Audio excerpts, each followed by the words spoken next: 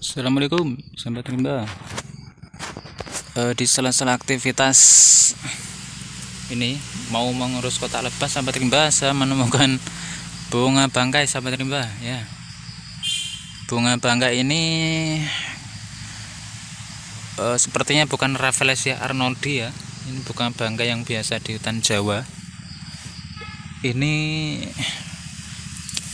tapi baunya tetap nggak enak sahabat rimba ya. Ini terutama sore hari ya sekitar jam 3 sampai malam begitu. Dulu saya pernah uh, miara di rumah. Ya sahabat rimba gede nih sahabat rimba ya lumayan. Tuh nggak tahu ini Rafflesia arnoldi atau bukan sahabat rimba tapi sepertinya bukan. Ini mungkin yang dinamakan dengan subak.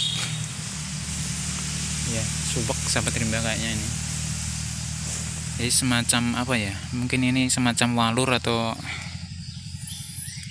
apa itu namanya? Yang biasa diperjualbelikan itu. Itu, itu sampai rimba ya ini kelopaknya. Nah itu tepung sarinya. Tapi ini sepertinya kok lebah kok nggak mau sampai rimba ya? Mau atau enggak ini ya? Masya Allah jadi sahabat rimba ya kebanyakan bunga itu e, baunya wangi sahabat rimba ya. Tapi ini ada bunga yang baunya nggak wangi ya baunya busuk sahabat rimba. Dan anehnya sahabat rimba ya ini bau busuk itu keluar setiap sore ya setahu saya tuh. Lebih menyengat tuh waktu sore sekitar jam ya jam 4 jam 5 sore begitu menjelang maghrib begitu. Dan maghrib itu waktu maghrib itu uh, waktu menyengat menyengat baunya itu. Mengikuti itu. Sekitar jam 5 sore ya mau udara mau uh, mau gelap gitu. Langit mau gelap itu baunya mulai bau busuknya mulai tercium.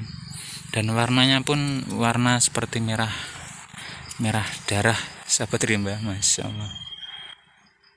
Ini satu keajaiban Maha suci Allah yang menciptakan bermacam-macam bunga seperti ini. Tuh, Allah. Ya. Bunga bangkai. Lumayan gede sahabat rendah. Ya, ini mungkin kelopaknya ya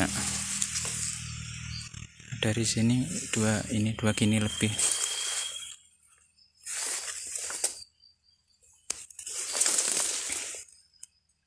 ya ini kalau di tempat sahabat rimba namanya apa ini ya? Ini termasuk nggak begitu langka kayaknya karena ini sering saya jumpai dulu tuh cari lebah gitu.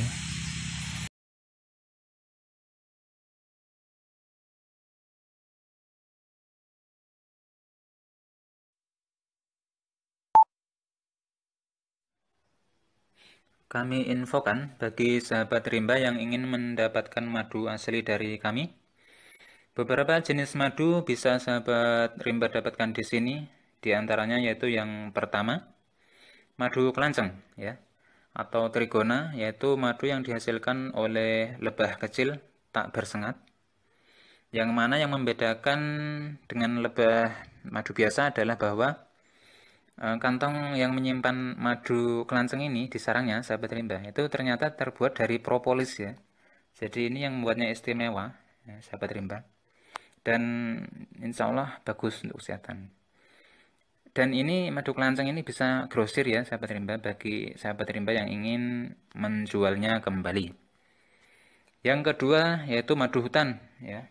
Sahabat rimba ya, madu hutan itu adalah madu uh, asli yang diambil dari lebah liar yang hidup di hutan ya. Ada yang menyebut lebah hutan ini dengan beberapa sebutan di antaranya tawon gung kalau di tempat saya dulu namanya tawon bawak sahabat rimba ya. Kalau di daerah Sunda atau uh, Jawa Barat sana itu namanya tawon odeng ya.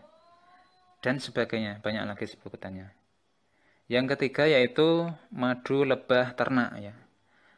Nah ini banyak sekali yang memalsukan dan di pencampuran ya yang dilakukan pada madu lebah ternak ini ya. Kita cukup prihatin dengan ini. Namun sahabat rimba eh, kami sebagai penghobi lebah madu dari eh, amanah rimba insya Allah akan memilihkan madu yang asli ya, yang bagus untuk sahabat rimba ya. Karena eh, tidak ini ya, tidak semua orang bisa memilih madu yang yang asli yang bagus begitu. Uh, yang keempat uh, ada madu khusus untuk mah dan asam lambung. Nah, ya bagi sahabat rimba atau kalau ada saudaranya yang uh, ada sakit mah atau asam lambung itu bisa dicoba untuk dibelikan madu ini sahabat rimba ya, insya Allah manjur. Dan masih uh, ada beberapa jenis madu lagi ya Ya, untuk mendapatkan madu asli dari kami tadi yang kami sebutkan, sahabat rimba bisa menghubungi kontak kami dan link toko online kami, toko online kami di deskripsi ya di bawah video ini ada deskripsi sahabat rimba klik itu ada linknya dan kontak kami ya. Uh, ya demikian sahabat rimba, selamat melanjutkan menonton video dari kami.